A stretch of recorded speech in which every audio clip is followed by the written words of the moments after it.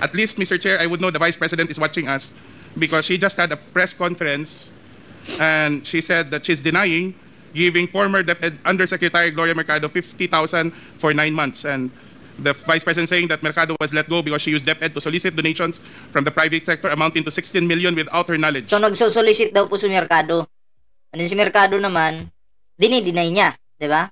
Oh, sige tuloy natin. And she adds that she will provide the media Slap 214. Shock shout out. with paper trail to back up her claim, describing Mercado as a disgruntled former DepEd official. that I did, we did not solicit. In fact, the two the two corporations are willing to to give an affidavit that I have no solicitation from them of 16 million. May I be allowed to um, raise some procedural issues? Uh, Congressman Marcoleta, you are uh, not a member of this committee, so there Magtatanggol na naman to si Marcolita. Ikaw naman, Marcolita, oh. Akala ko wala ka dyan, nandyan ka pala. Pag ano talaga eh, pag Duterte, pag si Sara Duterte yung pinag-uusapan, nandyan yan. Nagtatanggol. Oh, Jeric Albuero, shoutout. Oh. Natatawa ako biglang suming. Akala ko, di ko pa kasi napanood yung na ano, itong video na to. Nandiyan pala si Marcolita. Pagtatanggol na naman si Sarah. ah! Ay, nako po. Oh, sige, sige, sige. Pagbigyan natin. therefore you are not allowed. Nakakahiya yun, you are not allowed. Hindi makasay hindi makasingit yung tagapagtanggol. ulitin natin, ulitin natin ha, ulitin natin. Kaunti, kaunti lang naman. Ah. Uh, Congressman Marcoleta, you are uh, not a member of this committee, so therefore you are not allowed. Agoy, I nakakahiya think, yun. ma'am, given your long history and long service to the Republic, 40 long years, I think it's fair It's for you very to be given sad. the opportunity to reply to Um, the Vice President. I, I think, I, I don't want to do this, but since siya na yung nagsabi, i-turn over ko na yung envelope. The envelopes where the money was. Naku, Comsec, So it's Okay. nine envelopes. kuha po yung nine envelopes. Alam nyo, ganito kasi yan. Bakit naka-envelope yung pera? Bakit? Kasi hindi po siya pwede sa GCash or sa mga bank accounts kasi pag dumating yung time na ikaw na yung iimbestigahan, masisilip po yun eh. Oo. Kaya ang ang ang style po ng pag ah, bayaran diyan cash talaga, cash to cash talaga, 'di ba? Iaabot sa iyo ganito, ito yung pera, ganyan. Hindi po pwedeng ah, GCash. Okay? Lagot ka pag G- GCash to GCash. Oo. 'Di ba? May kalalagyan ka talaga. 'Di ba? Kaya kung mapapansin nyo, nasa envelope po 'yan. Kasi nagiging maingat siguro yung nagbigay ng pera. Mm. Mm. Ebidensya yan, ha? It says, um, it says hope and the amount is there. Kasi ang sakit naman noon, ordinaryo lang akong trabahante tapos inano ka ng vice president, di ba? It's very painful. Ma'am, ilang taon na po kayo? I hope you don't mind. Di, gusto ko lang pong malaman kasi sabi po ninyo 40 years na po kayo in I'm, government. I'm 65, sir, but I... So when the time when you were appointed as a USEC noong 2022 ba? 2022? Mm, How, how old were you at I the was 64. time? 64. And Yeah. I'm sure sa edad ninyong yan after uh, pagkatapos niyo pong pag-ingatan yung iyong ah, pangalan for the past 40 years? Sagutin ko yun. Yes, sir. So, okay, anyway, um Sir, thank you. Chairman, Mr. Chairman, I'd like to... Mr. Chairman, yun? Mr. Chairman, dito po ako. Ay, Mr. Chairman, Mr. Chair, can I continue first? Congressman, uh, wait, before I recognize Congressman Paduano, ma'am, ah, yes. I, I believe Si, with the indulgence of Congressman Asidre, may... Man, ah, please continue, Uh, Congressman. Mr. Chair, can we allow uh, Yusek, Yusek Mercado to continue with the, with the response? Because I was trying to ask her about the 16 million that the Vice President mentioned. Oh, please respond with respect to the 16 million. 16, 60. 16. 16 million. I would like to respond to that because it's a press con. When I was called for um, by Yusek Solaika, uh, he said, uh, Yusek Mercado, you have to go because one, you have a teacher in your staff. But I explained to them that the teacher was a contract of services when I joined DepEd. And the teacher has a pending application in Cebu because he's from the Visayas. And while he was working with us, he passed the, he qualified for the RQA. But then when he received his uh, appointment as a teacher, it was already past the opening of the class. Um, it was almost opening and the So, 9 envelopes yun. So, 50k monthly. So, 450,000. Wala kayo kay Jason sa. Oo, million per month. Siya naman din mismo yung umamin yan eh. Ah. uh, the the teaching uh, load was already apportioned. So I called the RD. I said, "Can I still keep him because he was working on the special hardship allowance, which is uh, uh, which was a program that BP Sara also wanted to improve because there's a new hardship allowance and we ju- kung mapapansin niyo po ha, masingit po lang yung bayaderos. Ano po sila? Cash to cash din. O, pumupunta sa, ano, Isiminay. O, di ba? Doon nagmi-meeting-meeting, tapos sabay abot. O. Bawal po sa kanila yung ano eh, bawal sa kanila yung Gcash-Gcash eh. Ah.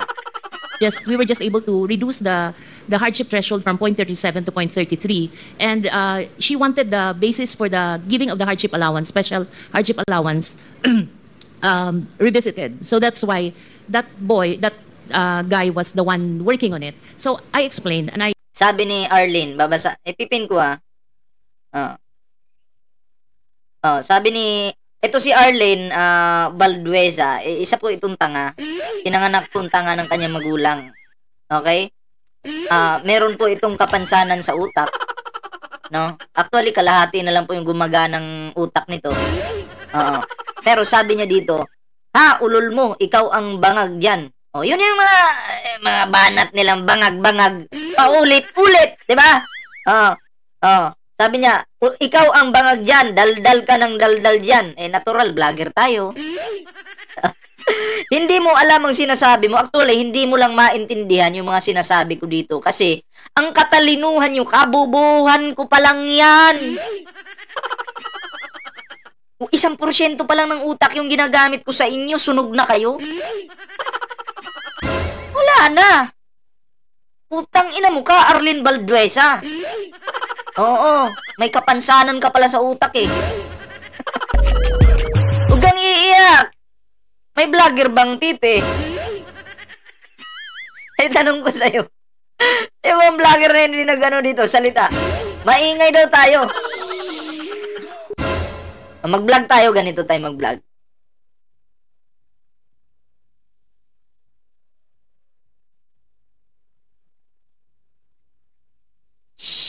Tahimik po tayo, may naingayan sa atin. tahimik, respeto naman sa mga walang utak, ha? Lady Lendy uh, Descalzo, shoutout po. Ganun ba mag-vlog? Tahimik dapat? At saka hindi naman to vlog eh. Live po ito. Live streaming yung ginagawa natin. Oo. eh, siguro ganun. Siguro, uh, may mag-viral siguro niyan pag may mag-live or mag-vlog ng tahimik. Kasi maingay eh. Ito ah, ikaw na nga yung pumasok sa live ko, tapos ikaw pa yung naingayan. bisita ka dito. Ang bisita yung naghari-harian ngayon. Oo. Naingayan ko yung bisita. Para bang bahay ko to, tapos bigla siyang pumasok sa bahay ko. Ako na nagkakanta-kanta dito sa bahay ko. Bigla niya sabihin, Uy, kakapasok ko lang dito. Ang ingay mo ah. Nakakahiya naman sa yung animal ka. Di ba? Ituloy natin to. I I don't feel at all na guilty ako dun sa sinabi niya. The second one is uh he Sulaika mentioned that I solicited from two agencies. So I explained to her that it was a program which our our strand developed. There were two consultants from UNICEF who developed the app, and then we asked our external partnership office to look for external partners who will be who will be presenting the program because we we developed the concept. It was DepEd Guru. It's her being able to contact the 980,000 teachers. Parang parang kahit nasan siya pwede niyang makausap yung mga teachers. The second one was for us to to do an uh, electronic mode of the RQA. Parang there's no human intervention anymore. Uh, everyone uploads the the credential. Even the even the the computation of um, the teacher qualification is already is already on an uh, elect, what do you call this? Um, hindi wala na siyang human intervention. So that was the program. It wasn't us who choose who would be the partners who will be invited. It was the external partnership. So we made a presentation to almost all the corporations. And, and then some of the corporations appreciated that it's a very important program. So some of them committed to buy, kasi what we did is we, we divided the total fund of 16 million into chewable chunks. So if you're interested with this Ay, package, shoutout kay Riddler ha. Support po natin si Riddler mga pre. May YouTube channel po yan. Isa po yan sa talagang ah, sumusuporta po sa ating mahal na Pangulo. Subscribe po natin. ito lang if you're interested with it because not everyone naman wanted to to pay the 16 million but there were two corporations who were willing to to fund because we wanted to put one in Mindanao one in Visayas and one in in uh, Luzon so there were two who committed to to fund the the full package and uh, that was that was those were the two corporations that uh, Yusek Sulaika said I solicited so I explained properly I did not solicit there's no money involved there Ay, shoutout kay ah, Re- Regine Grace Hitalia ha. Oo. Ito papakita ko sa Regine ah, Grace Hitalia. Ah, kasi isa kang bobong inutil na pukpok. Oo. Ayan. Nilaglag na kayo ni Maharlika. Oo. Si Marlon Purificacion ang nasa likod ng pulburon video. Kumanta na si Maharlika dahil hindi binayaran ng amo mong putang ina mo ka. Ha? Arlen ba? Ah, sino ba yun? Nawala tuloy. Oh, Regine Grace. Putang ina mo ka. Ayan. Hmm. Kung ano kasi yung pinapakain na tae sa inyo, kinakain mo rin, pati ng mga anak mong animal ka. Diba? Oh, masarap ba na ginawa kang uto-uto? Uto-uto kang gaga ka. Diba? Tarantado ka. Oo. At Brian si kuya. Putang ina mo rin. Oo, matagal na akong hambog na animal ka. Gusto mo laplapin mo yung puki ng basher dyan? O, kainin mo yung puki ng basher dyan na animal ka. Total, mga manyakis naman kayo mga kampo ng mga da- dutae at dikibuloy eh. Ah, sino pa ang papalag dyan? May tanga pa ba? Utang ina mo. Hambog daw tayo. Nasasaktan pala kayo eh. Oh. Huwag iiyak. Huwag iiyak. Tarantado ka. Ah. Animal, punta ka ba? Kabsa. Brian, sa kuya. Ah, wag mo nang patagalin. Message mo ako sa Facebook. Putang ina mo ka. Pag ikaw nakita ko, tatanggalin ko yung utak mo. Ah, message mo ako sa Facebook. Ito yung Facebook ko. Ah. Ah, wala na tayong ano dyan. Wala na tayong paligoy-ligoy pa dyan, oh. Diyan ka mag-message sa akin. Tang ina mo ka, bugbugin kita sa harapan ng pamilya mo eh. Wala kang kwentang tae. Tae ka lang sa paningin ko. Oh. Anong punya ka dito? Ah, utusan mo pa ako? Ako ang dapat mag-utos sa'yo kasi alipin lang kitang kuto ka.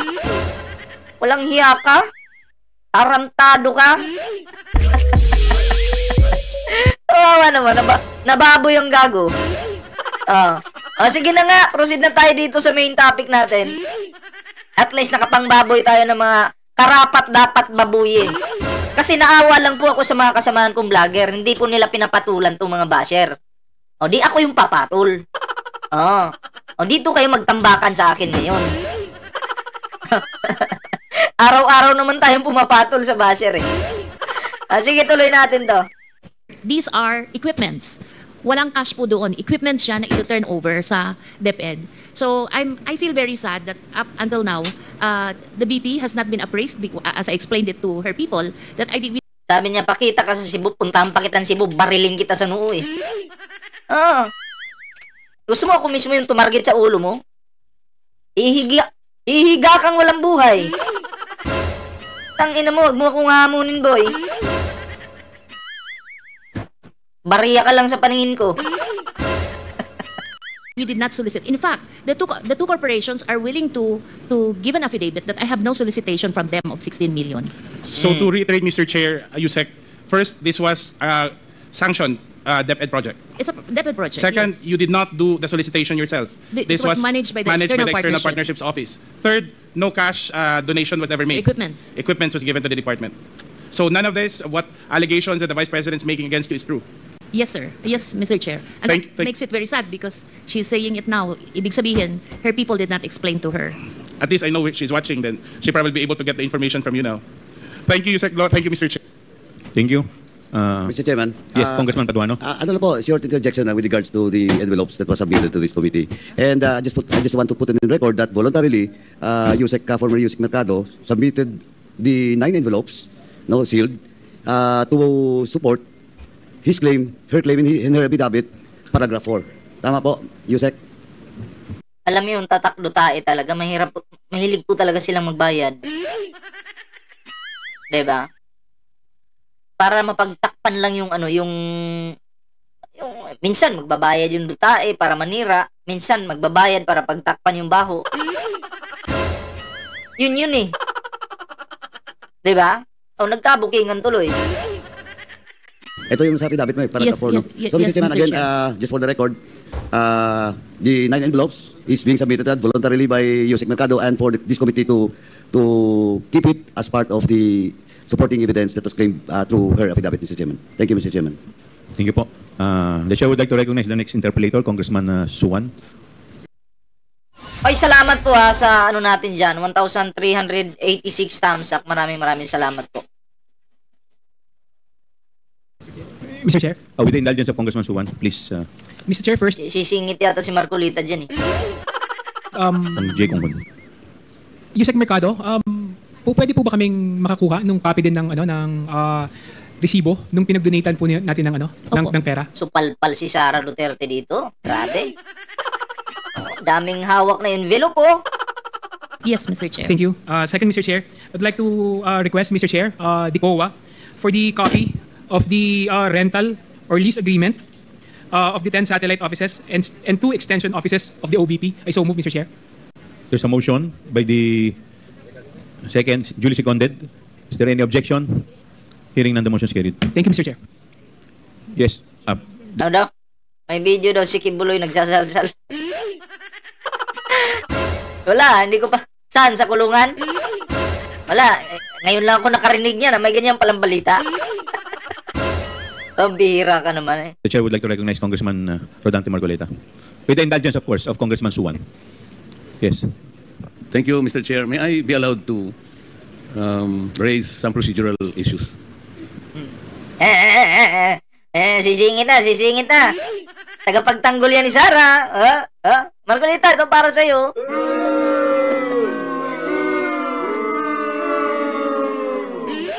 Ah, sige nga, kung mapapahiya, i-play natin. Uh, Congressman Margoleta, you are uh, not a member of this committee, so therefore you are not allowed.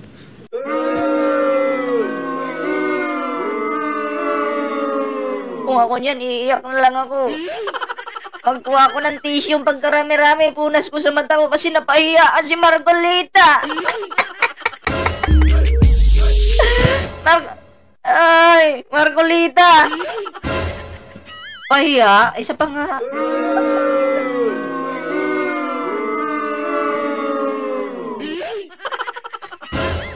Binulungan pa naman yun ni Sarah. Sabi ni Sarah, Chiminit, chiminit, chiminit, chiminit.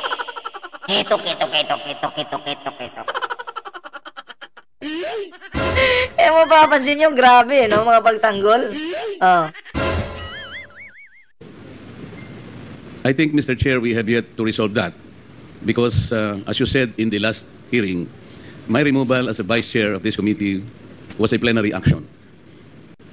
And therefore, there should be a plenary action to remove me as a member of this committee. I'd like to believe, Mr. Chair, that when I was installed as a vice chair of this committee, it presupposes membership. I am supposed to be deemed a member because if I were not a member, I cannot be appointed as a vice chair. The, the officiality of that is the position is only a privilege, but membership is organic. So until and unless that, that was to be resolved, Mr. Chair, I think you have to recognize me as a member of this committee Be- because even if I will admit or I will probably accede to you that I am not a member. Kahit hindi po ako member sa committee ito, being a member of the House of Representatives, I have the right to make issues and to raise issues. That's why I'm asking your permission to do so, Mr. Chair. You can at any time make a manifestation. Uh, in fact, I've been recognizing you po. Uh, but with respect to the issue of your removal, the committee is not in the position to answer that. Maybe you can question the Committee on Rules. Sila po ang proper uh, uh, sila po ang proper committee na po pwede pong sumagot. sa Yes, Mr. Chair, that is correct. The only reason why I answered you back because you said that I am not a member of this committee. I should not have raised that at all had you not said it. But may I continue, Mr. Chair, in raising a uh, some procedural issue because during the first hearing, I know that the very basis of this inquiry in aid of legislation was the privileged speech delivered by Honorable Valeriano. And I would like to make a record, Mr. Chair, although I wasn't able to do that during the first hearing, the privileged speech shouldn't have Oy, shoutout sa ano ah, ah, kay ah, URU Kuwait. Oo. Diyan ka lang at masaktan ka. Oo, okay yan. Nandyan ka. At ah, kumakabog yung dibdib mo ngayon. Kasi nga, bobo ka. Oo, diyan ka lang. Kasi buong pamilya mo, ang papangit. Simul- simulan mo sa nanay mo. Tatay mo, ang papangit ng pamilya nyo. Kaya nga, kung titingnan mo sa ah, pang-comment mo dyan, wala kang muka kasi pangit ka. Pinaglahi ka sa ah, pinaglihi ka sa puwit ng nanay mo. Oo. ba? Kaya tingnan mo, wala kang muka. Kasi ang pangit ng pamilya mo, buong angkan mo. Oo, mukha kang titi. Titi na hindi pa tinuli. ano ba? Alam mo, pag ako kasi ng trust talk sa inyo, iiyak kayo eh. Oo. Eh, trust talker pa naman ako. Oo. Diba? Ikaw, yan lang yung comment mo. Pag ako ng trust talk, dami na. Di mo na mahabol. Ano, buhay ka pa? Comment ka pa? Saan ka na? Antayin ko yung comment mo. Isa, dalawa, tatlo. Ang tatay mong supot. Ah, wala na. Patay na agad. Sus Mariusip. Mhm. Sige na, proceed na tayo dito sa topic natin. Nagbabasa kasi ako ng comment. Yung hinahanap ko po negative comment. Kasi pinapatulan po natin yan. Ah. been allowed at all based on our rules. Our rules specifically states that no one can be allowed or avail the privilege hour if the concern he is to raise in his privileged speech. Principle Bigyan nyo nga ng hupya si ano, si Marcolita. Baka magwala na naman to eh. Pag tiningnan niya walang laman yung kanyang ano, mapamura na naman. Putang ina. 'di ba? Para hindi mainit yung ulo ni Marcolita ba, bigyan nyo ng hupya, pakainin nyo yan. Ah. and directly uh, relates to a bill under consideration. At the time, uh, Honorable Valeriano, Mr. Chair, delivered his privileged speech. The General Appropriations Bill was already filed on August 27, 2024. He took the floor on September 3, and therefore, any concern relating to the subject matter in the budget or in the bill should not have been allowed at all. And then, this morning, I saw the agenda, Mr. Chair. There was an additional agenda added in this committee, and this is supposed to be the, the manifestation raised by Congresswoman Louis Stroh. Roque Litada, shoutout. And I saw in the notes that it was taken up as motu proprio uh, matter, Mr. S- Mr. Chair. On, on procedural matters, I, I don't know how it should be done because motu proprio, to my mind, is something that would indicate an official action Wait lang ah. Ah, parang naano yung internet natin ah. Wait lang. taken without formal request from another party. And so my question, Mr. Chair, is how, how did the committee took it on a pro, motu proprio basis when it was a manifestation? Host, remember, bawal ma-stress. Hindi po na, hindi po ako nakaka, na, na-stress. Ganito lang po talaga ako, no? Ah, pag gumagawa ng mga videos, nagla-live, pumapatol po talaga ako sa mga, ano, sa mga basher, no? Kasi wala, eh, pinagtatanggol lang po, pinagtatanggol ko lang yung, ano, yung mga kapwa natin content creator, na, kasi sila, hindi sila pinapatulan, eh. Pag mapunta sila kina Chris Ulo, hindi naman sila pinapatulan, eh. Pero sila, grabe makapambaboy dun sa live. O dito kayo sa live ko mag, ano, bagsakan ngayon. Welcome po lahat dito. Pwede yung demonyo, pwedeng anghel. Oh, magsama-sama kayo. Oh. Sige, dito kayo mag, ano, mag, ah, mang-bash. Tingnan natin. Magkaalaman tayo. taken by another party. I I see it a very unusual procedure, Mr. Chair, because this representation, I would like to recall that sometime in March 2024, delivered a privileged speech dealing on the same subject matter, and I think even more, I questioned the several irregularities pointed out by the Commission on Audit, specifically in 2017, 2018, and 2019, covering the audit report of COA in the Department of Education. Dapat ang sinasagot ni Marcolita dito kasi nga tagapagtanggol siya ni ano ni Sara. Shoutout Ma'am Lini Santa Ines. Dapat magbigay siya ng komento dun sa ano sa nine envelopes na yun. Oo. Bigay ka ng komento, ipagtanggol mo si Sara, defender ka niya, di ba? Oo. Baka mamaya mabadshot ka kay Sara, sabihin sa'yo, ba't eh, di mo ako pinagtanggol dun sa ano, sa sa hearing, pinakitaan na tayo ng ano dun eh, ng envelope eh, di ka pa nagsalita. Oo. In that, pri- in that privileged speech, Mr. Chair, I took note of the sum of something like 3.25 billion pesos of ICE, of uh, uh, information communication technology packages. As noted by the Commission on Audit at the time, Mr. Chair, there were no adequate supporting documents. Unfortunately, that privileged speech was not even referred to the depart or to the committee, to any committee, either the Committee on Education or the Committee on Good Government. Uh, So my, my question, Mr. Chair, is uh, how is it special or how special can a manifestation issued during the uh, budget committee hearing that this committee, this good committee, already took it as a motu proprio action, subject matter to be covered by this, by this hearing. So parang, uh, parang there is no consistency, uh, Mr. Chair. Parang Natawa ko sa I, mga I would like to comment. volunteer, Mr. Chair, that a copy of my privileged speech delivered on March 15, 2021, entitled Go Buddies DepEd. Nagbabasa ako sa mga comment nyo dito eh. Natatawa ako sa ano, sa Joseph. It was not even referred to any committee, Mr. Chair. When I exposed several irregularities in the Department of Education as audited by the Commission on Audit. Akala ko dati tahimik si Marcolita at pumapanig sa tama. Mali first impression ko sa kanya. Binulungan na po siya eh. May bumulong na. Anong bulong? Shiminit, shiminit, shiminit, shiminit. Itok, itok, itok, itok. oh, sige na, tuloy natin. I would like to volunteer that this be made part of the documents that may, might be uh, taken up by the committee in regard to any investigation with regard to, uh, to DepEd. In this uh, particular privilege speech, Mr. Chair, I even question a particular law. It's Republic Act 1847. This is a law enacted in 1995. Ito, ito. Sabi, may pangalan dito eh. Ipipin ko ha, ipipin ko. Basahin nyo. Oh, huwag nyo barahin para mabasa nyo. Sabi niya dito, Ah, mga tangang vloggers ni Marcos naniniwala sa storyang chismis ni Jam Magno. Nakulong yan sa libel tanga. Ah, ganun ba? Ay, nakulong ba? Okay, so, ano to? Si Maharlika? Ano to si Maharlika ngayon? Ah, Paano na yan si Maharlika ngayon? Oo. Sabi dito, Marlon Purificacion, bata ni Vic Rodriguez, ang tunay na gumanap sa pulburon video na nilabas natin mga palangga.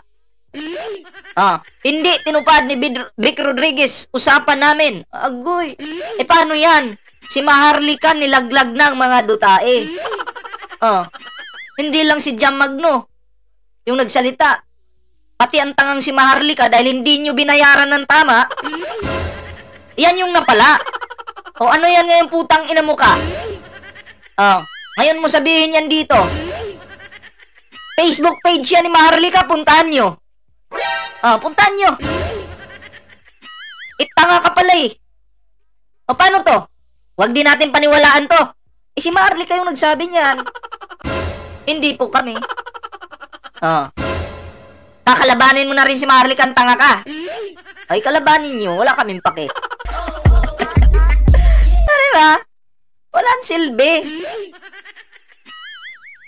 Alam mo, kung titingnan nyo po dito, ikakrap ko lang ha. Ikakrap ko lang para klaro po sa lahat. Oh. Kung titingnan nyo po dito, Ayan. Yan ah. Ah. yung, yung, yung ano, yung tenga, tingnan niyo yung tenga. So, ako naniniwala ako sa kay Maharlika. Totoo yung sinabi ni Maharlika na si purification daw to. Oo. Kasi i-compare niyo yung tenga. Yung shape ng muka, yung buhok, hawig na hawig. O, di ba? Wala na. Sige. Ituloy nyo. Huwag niyong bayaran si Marlika. Marami pang ikakanta yan. Pagpipiestahan namin yan dito sa social media. Madudurog kayo, promise. Kaya mag-ambagan na kayo mga tatanga-tanga kayo dyan. Dahil wala ng pera si Kibulok. Naka-freeze na yung mga bank accounts. Mag-ambagan na kayo. Para pambayad nyo kay Maharlika. Mga tanga.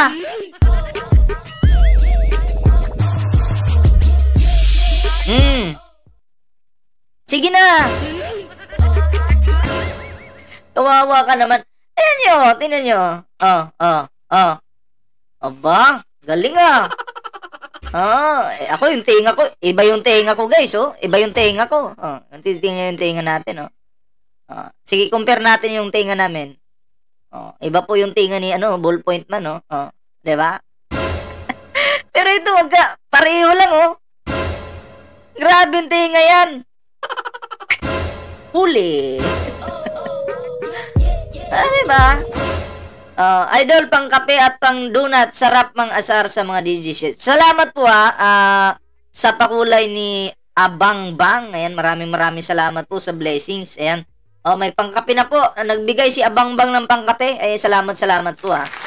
Uh, hindi po tayo katulad ng mga DD shits dyan no, na mga garbage creator, mga vlogger nila na magpaparinig, Uy, wala pang kulay yung akin live. Minsan, manghihingi pa ng pajikas yung mga tanga. Oh, dito po, hindi natin ginagawa yan. Eh, sila lang naman yung nagbibigay, nagkukusan loob. Pero salamat, salamat po ah, sa mga blessings. Ayan.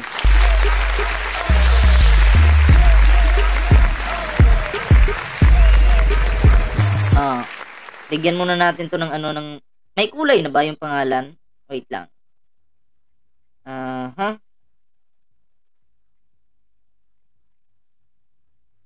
Wait lang ah. Ko na makita yung pangalan. Oh, yan. Yan yung napalaan nyo. Painitin nyo pa yung ano ni Maharlika. Kaya nag-aaway-away na nga yung mga vlogger ngayon dahil wala ng budget. Tingnan na yung bayad bayaderos. Si Banat Bay, wala nang masyadong live. Kasi nga tinatrabaho na po sila. Okay? Yung iba diyan kinakasuhan na. Uh, si Banat Bay, walang live, more on upload na lang siya sa kanyang uh, channel. Oo, si Olin naman, upload din, walang live. Ah. Pero ito si Dada, eh, ano kasi to mal- mal- malakas, uh, malakas lumamon si Dada eh. Kaya ayan, araw-araw live. Ang pinapakalat, fake news po lahat. Di ba? Oo, eh, sa laki, sa laki ba naman ng katawan niyan, eh, yung mahal daw yung bigas ngayon eh. Tatlong kilong bigas, kulang pa sa kanya. Eh, mapapansin nyo si Dada nagla-live. Si Jiggy Barra, wala din live. Upload lang din. Kasi nga, mukhang, mukhang uh, nakakaramdam na sila eh. Wala na silang ano eh, wala na silang uh, masasandalan eh. 'Di ba? Wala na silang masasandalan. Durog na po silang lahat. Ang inyong bayaderos na idol, durog na. Sunog na po. Oh. Yun yun, yun yung katotohanan dyan. Dalawanti lang yan. Tanggap-tanggap lang. Oh. yan yung napala nyo.